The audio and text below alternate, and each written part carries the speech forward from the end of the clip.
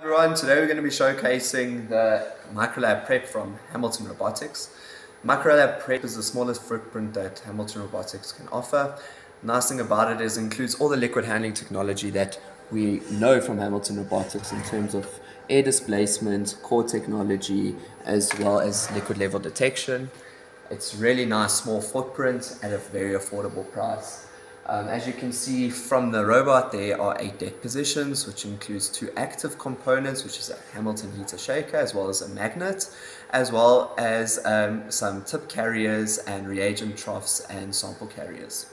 The ML Prep has uh, really got some nice ease of use technologies in terms of the nice touchscreen interface, as well as a camera on top of the, the robot, which allows uh, labware detection. So anything that is out of place from your protocol, robot will show an error immediately. This robot can be used for various different applications from simple aliquoting and serial dilutions to PCR prep, um, DNA and RNA extraction, as well as LCMS or any chromatography sample preparation, such as protein precipitation, uh, liquid-liquid extraction and solid phase extraction. Benefits of the system are, there's various benefits. So first of all, it's very precise and accurate pipetting. It's not dependent on a specific analyst. It will do the same pipetting steps no matter what day it is, no matter if I'm in a good mood or a bad mood. It's always very consistent and reproducible.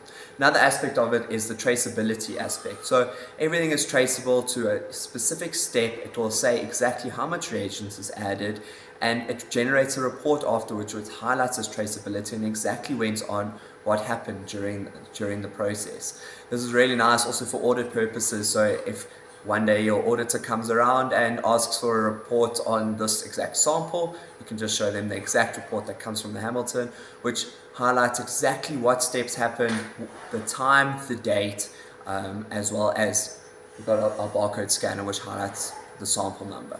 So it's really great for traceability aspect. Um, when it comes to throughput, uh, this will really improve your, your throughput. It's not taking away jobs. Um, what it is doing is giving people time away from the laborious activities like pipetting. So instead of pipetting, people can look at doing data analysis, developing new methods, all those kind of approaches, which is really nice um, because not all of us like to sit in the lab and pipette all day. This is very easy to program. Um, it's just from the touch of a button. So what we need to do is first of all say new protocol. Um, then what it will do is it will ask you to detect your specific labware using the camera. So we'll say detect. After that, it will identify exactly what labware is on the deck. Um, we'll need to select specific tips. From there, once we confirm the labware, it's so simple as to say, cool, what's our first step? Add a new step. There's various options from transferring of samples, adding reagents, heating, shaking, waiting if you want to place your, your plate onto a magnet, for example. And we can obviously read barcodes, identify how many samples we want, and moving um, using the core grippers, moving our plates to and from a specific magnet. Interested in seeing this in action? Either you can come through to our demo lab, the touch of a button, program the, robot to do one of your specific protocols. Alternatively, we can have a discussion around how we can place this instrument at your lab for a certain period of time where you can see how it will effectively improve your daily routines.